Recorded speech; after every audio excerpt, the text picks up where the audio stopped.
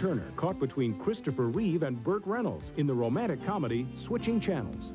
Kelly McGillis and Jeff Daniels uncover a government conspiracy in The House on Carroll Street, and Rebecca De Mornay schemes her way out of prison in And God Created Woman. It's all coming up next on Siskel and Ebert.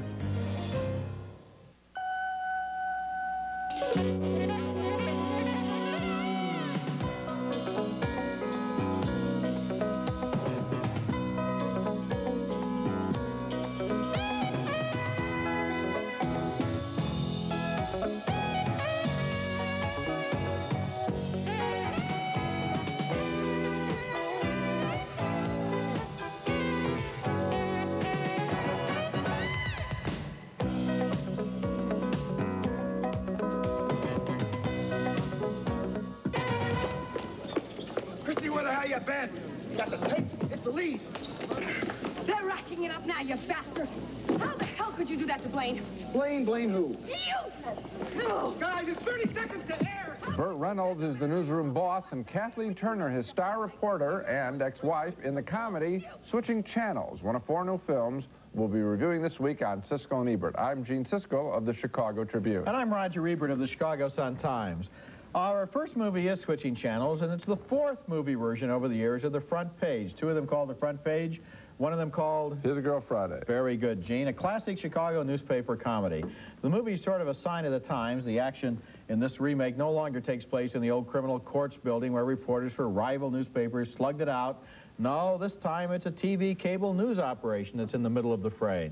But the basic plot remains the same. A convicted man is due to be executed at midnight, and the news director, played by Burt Reynolds, wants to convince his former wife and current star reporter, Kathleen Turner, to stay on the story.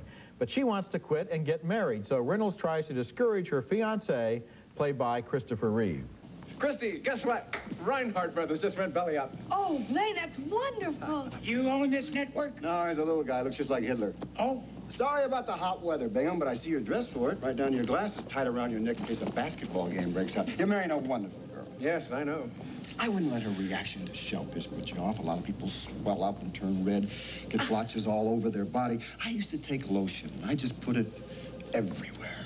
A little later, still trying to get rid of the fiancé, Reynolds tricks Reeve into getting into an elevator despite his great fear of heights. What's the matter? Mr. Bingham, don't touch her. Don't, don't, don't, don't. No matter how mad she is at Reynolds, Turner is a pro when the cameras are on. What's the lead, Christy? The lead is former investigative reporter slays ex-husband in TV studio. 20 seconds. I swear on Walter Cronkite's said I wouldn't hurt the lad. No, you're not. How's the language? What have I ever used bad language, you rotten son of a bitch? 10 seconds. Go with it. I have seen some lowlifes in my time in this business. You meet them all. The pimps, the axe murderers, the hoodlums, the drug pushers, the rapists, the child molesters. But you, Five, you are the worst. four, you are a ruthless, three, amoral, manipulative, bullying. Good evening. This is Christy Colleran with the SNN award-winning Evening News.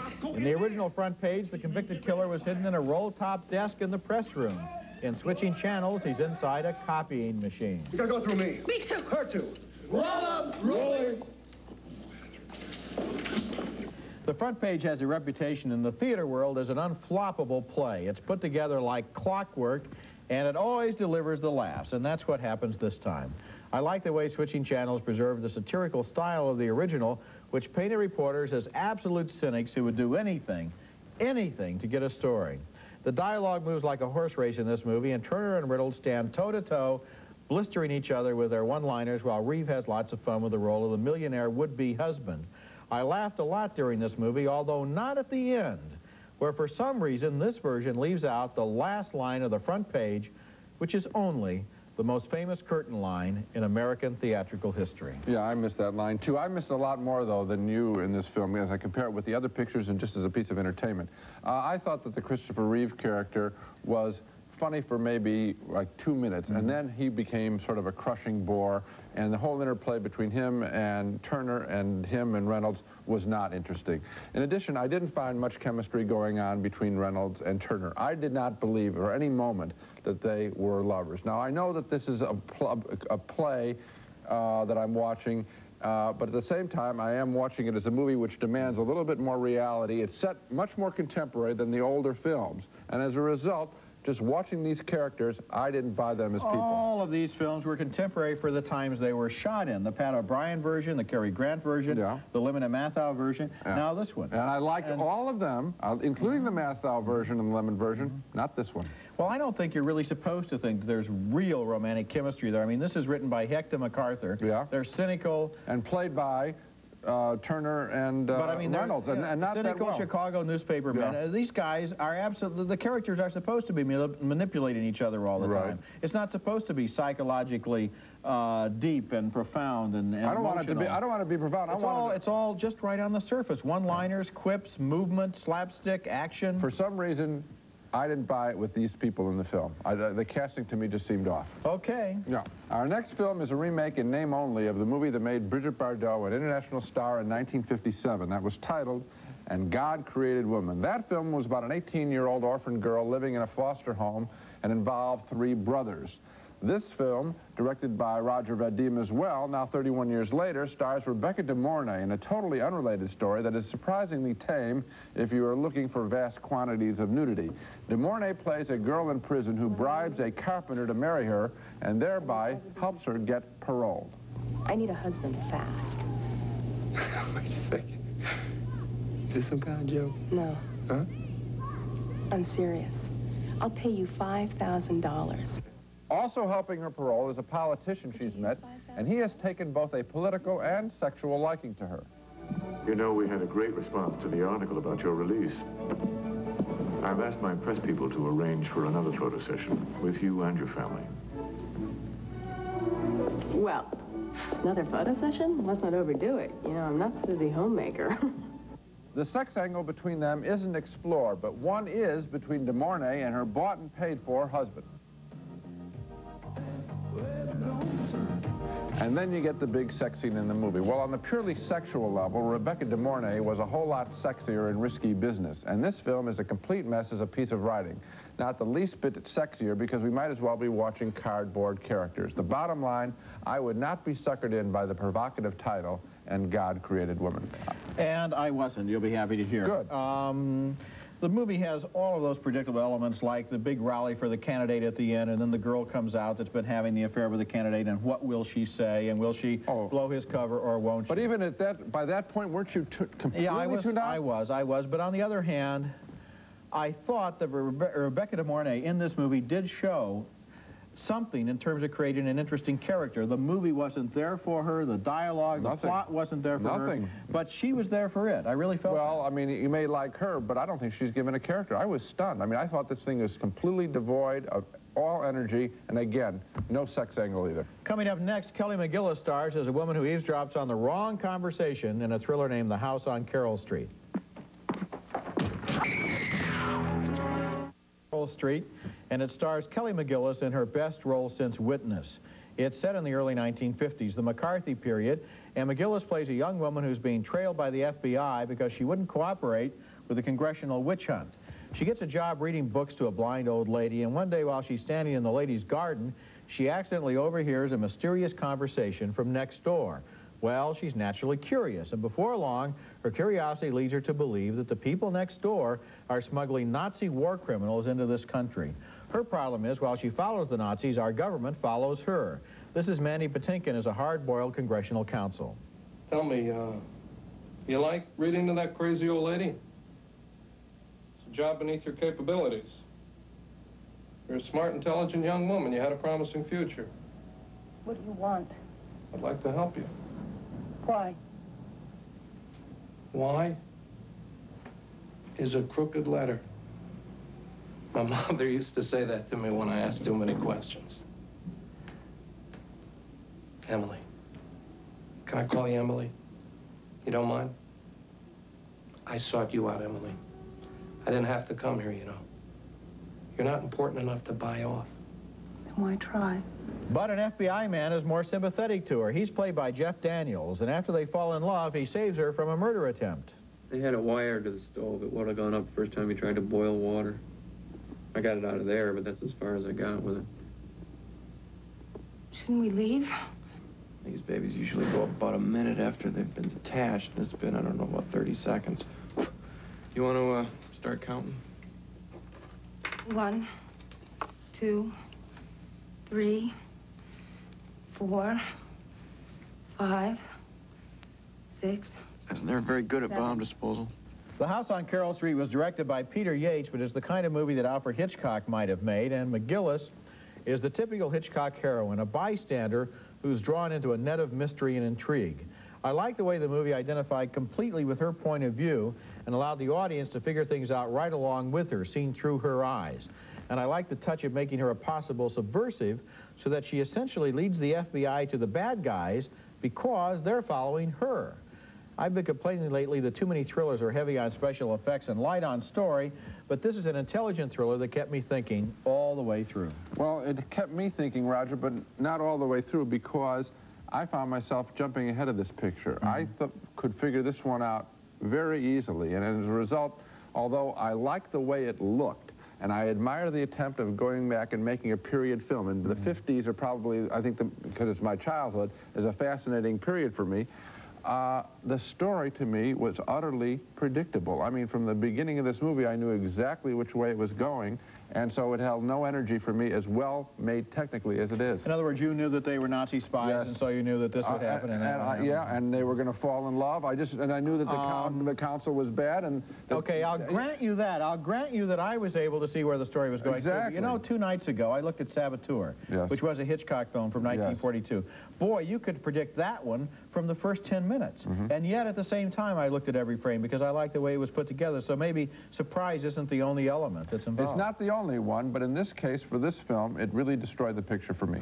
Coming up next, the movie Shy People, the story of a New York journalist played by Jill Clayburgh, who ventures into the Louisiana bayou and meets a proud but troubled family. You city people, you're Shy People, and it stars Jill Clayburgh, who's been strangely absent from the movies recently. In this film, Shy People, she plays a New York magazine writer who goes back to the Louisiana bayou to track down, as she calls it, her white roots and her relatives who couldn't be more outwardly different. The family she finds is led by a strong mother played by Barbara Hershey. You seem so young to have been Joe's wife. I was and I am Joe's wife. Once Clayburgh gets inside Hershey's home, she finds a frightening oddity among the family photographs. Do you mind if I ask you who this is? My dead son. Why is this? He's a sinner. Went to town. That boy's dead to me. The film is at its best when the two women are alone together, here visiting the location where Hershey hid her husband after he killed a man. And Joe, you had to keep on running. I only see them Sundays when I bring a basket. Right here. You mean you knew where he was? Only everybody knew where he was. They just didn't know when he'd be there. It's a good-looking film, and Barbara Hershey is convincing in her character. And I wish the movie had been more about the two women than Barbara Hershey's standard issue Bayou family. I just knew, for example, that the boy who was chained up was going to be set free. None of the young characters held any surprises for me. Clayburgh's chemistry, however, on camera seems to have declined since her glory days of an unmarried woman a decade ago. And so the main pleasure in the film is Barbara Hershey's convincing portrait of a bright woman kept in hibernation trying to do best to keep her family afloat. Uh, I can't tell. Did you recommend it or not? I'm not. You're not, because I do recommend this film. I think it's probably going to be on my list of the 10 best films of the year, and I think it is so strong. I'm surprised you weren't more overwhelmed by it, because it's, it's directed by Andrei Konchalovsky, the same animated Runaway Train, and it's got his same vast vision. He doesn't make little films. That opening shot overhead of the boat going into the heart of darkness there, and then these uh, overblown characters, these bigger-than-life characters in a frankly melodramatic story, to me, that was part of the fun. Well, it is, it's not fun to me when I see what I, I call it a standard issue Bayou family. I mean, that held, that gang around Barbara Hershey held no surprises. What I did admire was how Hershey, a very familiar contemporary actress, was able to disappear Oh, well, into she, character. she is superb in this film. She won the Best Actress Award at the Cannes Film Festival. Mm-hmm. But you can't name me another movie that has a family like that in it. You say it's standard issue. No, no, I, I mean, well, let's go with Bayou movies. Uh, what was how many that Bayou well, movies can you oh, think there of? are there are a lot of them. I'm talking about. Uh, there was one directed by Walter Hill, which I can't come up with the name of. Right now. There's pictures. Yeah, but, uh, for we're talking about what even about her son- the Southern Deliverance. What about the those son whose picture is scraped out there and he Right. runs the nightclub in town? What an original portrait that is when he walks out and says, looks like Mama's been here after she shot up the place. There's a lot of energy in this film. There's a lot, compared to most dead, lifeless films with no ambition, there's a lot going on here. I, I didn't dump all over the picture. I just dumped over part of it. Well, I guess we should be thankful then for that much. When we come back, a special report on a cult video that has become an underground hit, a documentary about, about a medieval scholar named Nostradamus who predicted the future. Incredible. Yes. But there's more, much more. Long ago, and I had lunch with a friend who told me that she was planning on spending the month of May visiting her relatives in the East. Why is that?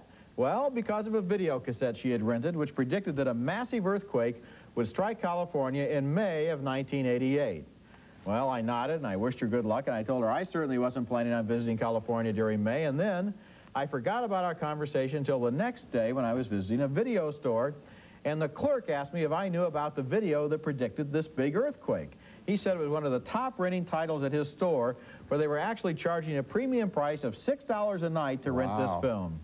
The name of the documentary is The Man Who Saw Tomorrow, and it was released in 1981 with a narration by Orson Welles. It tells of the prophecies of Nostradamus, a medieval scholar who wrote 1,000 prophecies of things to come. This documentary borrows film from everywhere to illustrate the prophecies. We see Napoleon and old historical epics, newsreels of Hitler, who Nostradamus predicted would be one of the three antichrists, and old newsreels of President Kennedy, whose assassination Nostradamus allegedly predicted.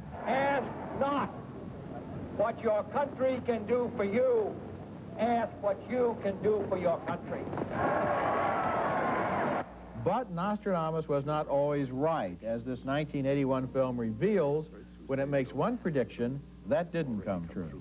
Soon after, they shall be equal in government. This last line of the quatrain could suggest that 1984 may be Ted Kennedy's year. Well, it didn't turn out that way for Senator Kennedy. But this movie, you have to hand it to it, it's not afraid to go out on some very specific limbs. And Orson Welles certainly doesn't beat around the bush here at the movie's key prediction. So, Nostradamus has given us the month, May, of a great earthquake. And more, he has given us the year. Astrologists tell us the conjunction of Saturn, Capricorn, Jupiter, and Mercury will occur again in 1988. May 1988.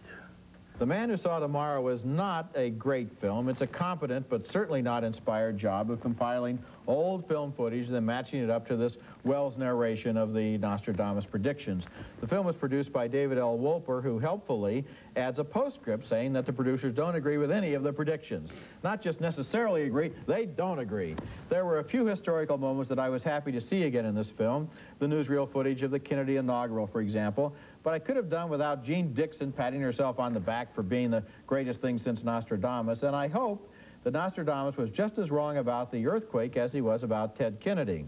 Also coming up, by the way, according to Nostradamus, are World War III, followed by a thousand years of peace before the world finally ends in exactly the year 3797. I just thought you'd like to know that. Well, I'm glad they're holding the Oscars in April this year rather than in May. That's one nice thing to learn from the film. Actually, I think the appeal of the movie is a little bit on the curious and also the sick side because a lot of the footage uh, is um, voyeuristic. I mean, you see the Kennedy assassination, the Zapruder film stuff in slow motion. You're seeing uh, some Nazi atrocities. Uh, you see uh, the Jack Ruby killing and all this. I hope by even saying that I'm not selling the film. I'm trying to, to knock it a little bit that way. Uh, I think that part of the appeal is that they've thrown every part of world history they can at you. Um, as for the predictions, uh, my favorite moment would be, I suppose, the one where Nostradamus predicted that a uh, man would eat a black pig rather than a white pig at dinner. And so the man instructed his cook to serve the white pig, not the one that Nostradamus predicted. And then when he went to check it out, as you know, he asked the chef, he said, no, you did eat the black pig because the white pig uh, was killed and I had to serve the black pig. Now anybody who can come up with that, that's my kind of guy. It's also a very boring film White pig way. was killed, fell on the floor, and was eaten by dogs. That Yes. Very oh, I forgot specific- that detail. Specific detail, yes. The thing is, the whole movie is an anthology of footage from everywhere. Everywhere, I know. You get real shots of the San Francisco earthquake, followed by Fake. crummy science fiction uh, special effects shots of other earthquakes, Yeah. followed by things that aren't even earthquakes at all, but all the time with this Orson Welles narration. So it's amazing that the film is such a hit, but I, I guess it is. Well, I think anything that anybody predicting something like uh, end of the world, you know, always gets a lot of attention. Now let's recap our reactions to the movies on this show. Roger liked switching channels with Burt Reynolds and Kathleen Turner a whole lot more than I did. His thumb is up for the comedy, mine down. Two thumbs down for And God Created Woman, a tired, unsexy remake of the film that made Brigitte Bardot famous. Another split decision on the espionage thriller, The House on Carroll Street with Kelly McGillis. Roger found its style more than made up for its predictability. I didn't. And again, Roger liked the movie a lot more than I did. It's called Shy People, the Bayou drama, with, I agree, a fine performance from Barbara Hershey. One thumb up, however, one down. And so the one you really like is Shy People. A whole lot, yeah. And nothing caught my fancy. Okay, that's it for this week. Next week, we'll have a special show, a new show on some important new advances in home video. You may be shocked in more ways than one by what you're missing on your home screen. We're going to show you what's wrong with home video and how you can change it. That's next week, and until then, the balcony is closed.